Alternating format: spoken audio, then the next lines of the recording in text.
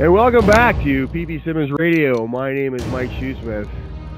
You know when we when we when we heard about all of the all of the uh, the routing of the Yazidi people up into the mountain there in in uh, in uh, Mesopotamia, now now known as Iraq, it it drew the ire of the dictator in the White House, and he he he got up there with his fist waving and said, "There is a genocide going on," and now we have got to put an end to that and and and you know never mind the fact that Christians have been have been uh, have been routed for months now over there by the ISIS folks, the ISIL folks, the IS folks. There's news. There's news out of uh, Saudi Arabia today, by the way. The the the, the king over there is saying that uh, the uh, the Islamic terrorists they will be on uh, on European soil within a month and American soil within two months. By the way. But anyway, we we don't want to digress from the actual topic at hand here. Uh, there was a genocide, uh, potential genocide, going to happen on the mountain there in Iraq of the Yazidis. And everybody was concerned, and the word genocide being thrown about here and thrown about there, and people were running to their dictionaries. What is a genocide? What are they doing to the Yazidis? And, well, I mean, let's go to the dictionary here. Genocide is the deliberate and systematic extermination of a national, racial, political, or cultural group. So, yes, if the uh, ISIS folks had managed to wipe out all of the Yazidis on the mountain and there was no trace of them anywhere, then yes, that would uh, qualify as genocide. But guess what, folks? There has been a genocide going on, an attempted genocide going on in another part of the world for a, a decade now or more. And that uh, part of the world is South Africa and there is a, there is a, atrocities going on in, in South Africa on a on a gigantic scale. And uh, we here at PP Simmons, we have uh, been able to reach someone from that area of the world, and uh, she has been active in exposing this attempted genocide going on in South Africa for a decade now.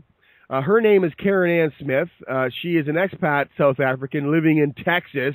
Uh, her family fled the civil war in Rhodesia, which is now Zimbabwe, after her parents uh, had been severely injured, and uh, they moved uh, to Southwest Africa, which is now called Namibia, and then left there for South Africa when the fighting in Angola spilled over.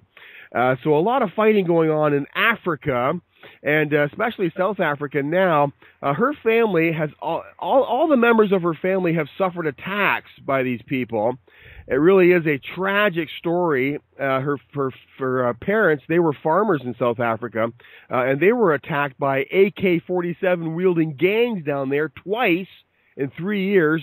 Uh, and uh, sad, uh, sadly, her father died uh, recently, last September. In fact, so it'll be almost a year ago, as a result of this. Uh, Karen, uh, Karen has been an active um, uh, participant in calling for the world's attention to the white genocide in South Africa for at least 10 years. Karen Ann Smith, welcome to PP Simmons Radio. Thank you, Mike, and thank you for giving me a chance to draw attention to these atrocities. Listen, you're calling this a genocide in South Africa. Is there really a, an attempted genocide going on there? Oh, certainly. Certainly, Mike, and there's no question about that. Genocide Watch, which is a um, American organization, went to South Africa and studied the situation there about 18 months ago. And Gregory Stanton, who is the head of Genocide Watch, has raised the genocide risk against whites in South Africa to six on a scale of eight, which is just before it happens. And he has said that whites must absolutely refuse to hand in their firearms because they have been confiscated by the right. ANC government, and they must arm themselves and stand up and fight. So a genocide is without question happening there. Run the numbers by us here. Uh, what kind of uh, now? I did a little research this morning. The murder rate against whites. Now, whites make up what six percent of the population there. Approximately, yes. And and what is the what are the murder numbers over there against whites against blacks over there? I mean, if we're going to talk about a genocide, people need to die. What do the death numbers look like over there, uh, Karen? Whites against blacks is practically unheard of. There are them, I'm not denying it. There are white, mur- white on black murders, but the majority of murders there are black on black or black on white. And there are 52 murders a day. Now, what you have to understand, Mike, is that South Africa is very little bigger than Texas. Mm. So if there were 52 murders a day in Texas, there would be an outcry of note. Mm-hmm. Yeah, and what are what are the percentages on that though? We have six percent. Um, Six percent of the population is white. Now we have uh, we have. Uh, is there a disproportionate number of whites being killed? Hugely, hugely. Um, I don't have the exact figures with me at this moment, but yes, it is totally disproportionate because the the white population is about three seven percent of the population, and the the black and white mur- the murders against them um, are much higher than that percentage. And, and the murders of farmers, it has been said that, the, that being a farmer in South Africa is the world's most dangerous occupation. Wow, being a white farmer. Yes, being a white farmer. Well, talk about the talk about the job uh, the uh, job situation over there. Is it is it true that uh, whites are, are prohibited from uh, acquiring new employment over there? Well, essentially, yes. People will tell you no. But the, the, a law has recent, well, not a law, but a, an edict has An been edict. given recently Right. in, in the town councils and the municipalities and um, government service that if a position is vacant, leave it vacant. Do not employ whites. What's going on with the farming situation over there now? The it, in uh, in the old days, we'll say uh, I'm not sure what decades they, they were, but uh, the whites owned owned the uh, the farms. Now, what do we have going on here today? We have blacks going in and making claims on this property. Yes, absolutely. Um, they passed a law in 1995 or so called the Land Redistribution Act, which said that if a black person had any claim whatsoever to a piece of land, in other words, if his ancestors in the 1600s had grazed a goat on that land, he mm-hmm. had a legitimate claim to a farmer's property. Now, that farmer has been on that land for generations Right. and developed it from nothing to what it is today. So, once a land claim was in on your farm, you could neither sell it nor sell anything off of it. You couldn't take even your air conditioner out until the land claim was settled. Now, the theory was that you would get reasonable um, restitution for your land. But there are farmers there whose land was taken away from them 15 years ago and are still waiting for the payments. But those farms today are derelict. There is no farming happening. Everything has been destroyed. So okay, so you did you just answered my next question. The the the uh, the, the land is being taken away from the uh, from the white farmers who have, have made something of the land, but nothing else is being made of the land. They're just taking it just for the sake of taking it. Absolutely, absolutely. And the problem there is that South Africa used to export food by the billions of tons. They are now having to import food Wow. because the, there are approximately 3,000 farmers left in South Africa, white farmers. And even those are under threat because they are considering now a law that says that every farmer must give 50% of his land to his laborers. What, uh, Karen? What, what are you what are you at, what are you looking for here? What is the response from the world community here that you're looking for exactly? I want them to take note. I want them to realize that there are very few white people in South Africa and they need help. They need to be called refugees. The world needs to realize that a genocide is taking place and make it possible for these people to go somewhere else because the world does not want them. And, and the majority 800,000 of them that are living in abject poverty in shacks built of cardboard boxes and road signs don't have the money to leave, even, even if there was somewhere that they could go. They need to be classified as refugees and allowed to leave should they so wish. And the end result would be a, an all-black society. There would there, this would be this would be uh, the, the white population in South Africa will have been driven out of the land. Yes, but at least they'd be alive, and that, Right. that is exactly what the blacks want. Wow. The, the president is singing a song called "Bring Me My Machine Gun to Kill the Boers," which are white people. Uh-huh. He sings it every day. So now, before the parliament goes into session, they sing that song. They do not want the whites there, but nobody else wants them either. Yeah. You know, um, Mike, Rwanda is going to happen there unless somebody wakes up and helps these people. Yeah. It is going to happen. I can't get my mother out. I cannot get her to the States. My daughter and her family are here, applied for asylum, which they almost certainly will not get, and will be deported back to South Africa. Wow. Now, my daughter has been mugged. My sister was gang raped. My brother was a policeman. He was dragged out of his car, beaten up, and left for dead. My mother has been attacked. My youngest brother was shot in the leg on a farm attack and has got tuberculosis in his bone marrow from that. Um, the hospitals there, well, you take your own bed, your own food, your own medicines. Why do you even go? I cannot get my mother out because she's old and she doesn't have money because there's a claim on her farm, so she can't sell it. Wow. And that's her worldly goods. I can't get her here. So every time the phone rings or every time I open an email, my heart just stops because I'm waiting for that call that says, I no longer have a mom. Oh my gosh. You know? And I have got lots of friends there, lots of friends who some of them can leave. They already have the visas and things they could leave, but they feel they can do more good there helping. But they know they can get out. If it really goes south, they can jump on a plane and leave. Yeah. Now, the, the others, the others who are hopeless. It is snowing in South Africa this winter, an unheard of thing in most of South Africa. Wow. And these people are dying of cold and starvation Mm. because they don't have running water. They don't have electricity. They don't have clothes. Because if we don't do it now, it's going to be too late.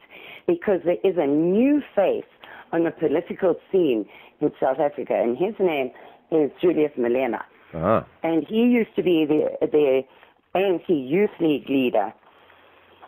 And he has studied under Robert Mugabe in Zimbabwe. hmm And his thing is nationalize everything.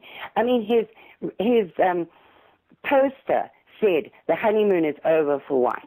Wow. And yes, now he is a big voice in, in South African politics, and because unemployment is over 30% amongst the black youth, they follow him because he has promised them everything. Uh-huh. Everything. We'll nationalize the mines, split the money amongst the people, etc., etc. Now, there's a call at the moment for Jacob Zuma, who is the present president, to step down. He has a standard three education, which is grade five, and is a goat, was a goat herd. Right. Malema, who is going for his replacement, failed everything, including woodwork, in school. Right. But this is the pol- politicians that we have in charge there. Now, if he gets in, that's the end for the whites. And it's coming. It is coming because he recently got 20 seats in Parliament, his party. Mhm. And they have already brought Parliament to a stop, burnt the building, all kinds of things. It's coming that he's going to get in. And, and then it's too late. The world must wake up now before that happens. Karen, give us a, uh, a rundown of the uh, the religious landscape over there. The the white people are they Christian? They are. They are mostly uh, uh, uh, Dutch Reformed. The Afrikaners are Dutch Reformed, but all all Christian religions are, are represented in South Africa. Now, the black people will tell you that they are Christians and they believe in Jesus, Mhm. but at the same time, they believe in their witch doctors who, that Right. are called Sangomas over there. Right. I don't know how you put those two things together. It seems it, thing- it seems irreconcilable, doesn't it? Voodoo with Christianity. Absolutely. And the witch doctors, um, AIDS is hugely prevalent in Africa. Right. And in South Africa, the numbers are enormous. The, in, the, the, the, the blacks, it's, it- one one in five maybe doesn't have it. And the Wow. witch doctors are telling their people who come to them for a cure for AIDS, they're telling them that the cure for AIDS is to rape a virgin. Wait a minute, wait a minute, wait a minute. Back this truck up a little bit here. Did you say one in five uh, does not have AIDS? Approximately, yes. My my figure might be wrong. It might be two, but uh, yes, it, That is that is South that is a shocking statistic. I had no idea that uh, it was that prevalent. It is. It is huge there. And the problem is that when the ANC took over from the white government there, they said there was no such thing as AIDS. So you must eat beetroot Uh-huh. and garlic, and that will that will keep you free of it. So for years and Wow. years and years, it was denial, and nothing Right. was done about it. Right now, now they're going to the witch doctors, the voodoo priests over there, and what are the voodoo what are the voodoo priests telling them to do besides kill white They- people? they are telling them that the, the answer to the cure for AIDS is to rape a virgin, Mhm. which equates in South Africa to a baby, Right. which further equates to a white baby. Thank you.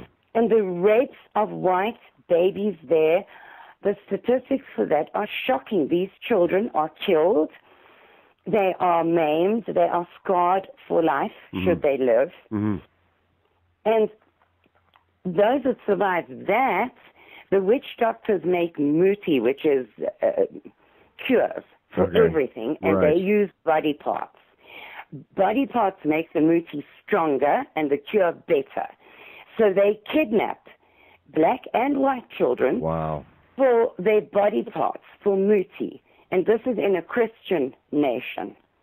Well, I mean, uh, they say they believe in Jesus, and they're running around to all these voodoo priests and so on. Uh, you know, it's no different than the than the Muslim. Uh, you know, we run into comments from people from Muslims all the time. Well, we believe in Jesus too. You know, and we're and we're thinking, okay, well, which Jesus is that?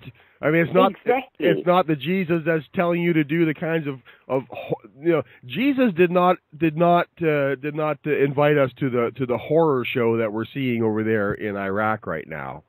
And uh, Jesus is not inviting us to the horror show we're seeing in South Africa with the rape and murder and killing of whites and, and babies. I mean, that is not the Jesus that I worship. We are not, there is a war of ideology going on here, and that is not uh, Jesus Christ of the Bible. No, no. And, and to go back to the murder figures, I have some figures in front of me. Yeah. In July 2014, there were 2,475 um, murders black on white. Mm-hmm. In January 2000 2036, February 2113, March 2210, April 2289. Th- This is in a, a country little bigger than Texas. Uh-huh. And these numbers are over 2,000 black on white murders Every month. every month.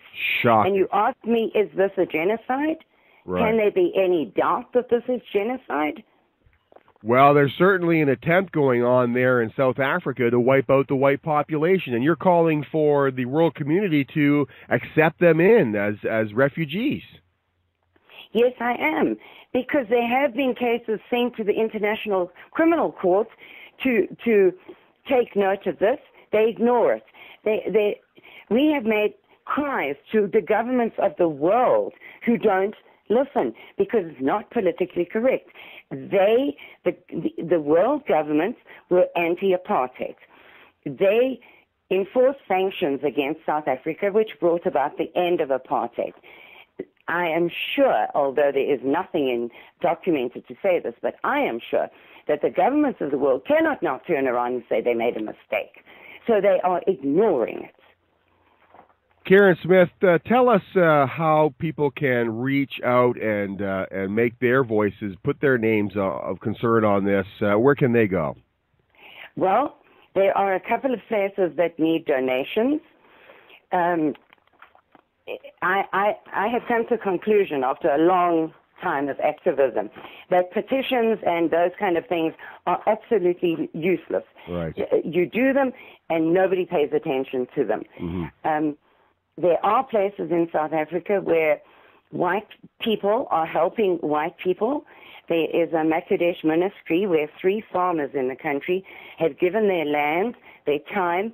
They are building um, houses for white people, homeless white people to go, to be taught to raise their own food, to have a plot of their own to raise it on, and to be given blue collar skills that they can use in barter and trade with the other whites.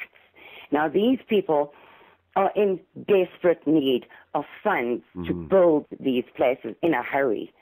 So right. those are the only things that I can think of that can help, and I will give you the details that you could put on your w- website. I guess uh, what we could happen is that they could just email us, ppsimmons at live.com, and we could forward information to them. Now, I just want to emphasize, Karen, that uh, you agreed to come on our show. You're not making any money from this. None of the donation money goes to you. None at all. It doesn't doesn't go anywhere near me. It goes straight to South Africa. Right. Well, listen, uh, people can email me ppsimmons at live.com for contact info. Look in the uh, in the description section of this uh, of this video of this article. This will be go. This will go out everywhere around the world. We are syndicated to uh, to uh, dozens of websites and so on. And so the contact info will be available on how to reach out and help these South Africans help the genocide in South Africa, folks. There's a legitimate genocide going on there, an, an attempted one, anyhow. Uh, Karen Ann Smith, thank you so much for taking the time to speak with us today. Thank you very much, Mike. All right. You've been listening to PP Simmons Radio. My name is Mike Shoesmith. We'll talk to you next time.